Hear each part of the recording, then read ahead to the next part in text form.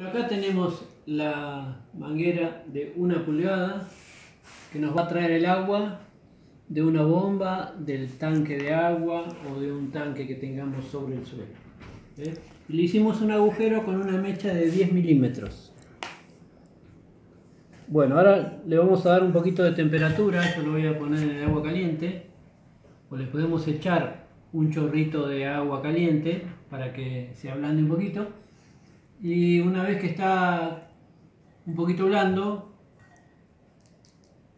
le vamos a conectar esta parte del conector, que acá tiene una gomita. ¿eh? Entonces presionamos y ahí quedó.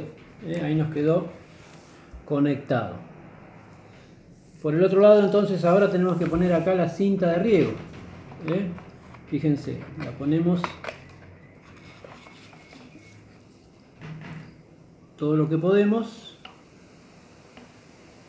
la vamos a sostener acá en el piquito y esto lo hacemos girar y ahí la va a apretar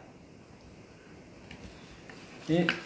fíjense que yo tiro y ahí me quedó conectada la cinta de arriba ahora esto va a recorrer las plantas y al final ¿eh? le hago un nudo a la cinta le hago un nudo bien fuerte y ahí la voy a cerrar. ¿eh? Después le voy a poner un alambre acá para que la tenga en el suelo y ya me queda instalada la cinta de riego.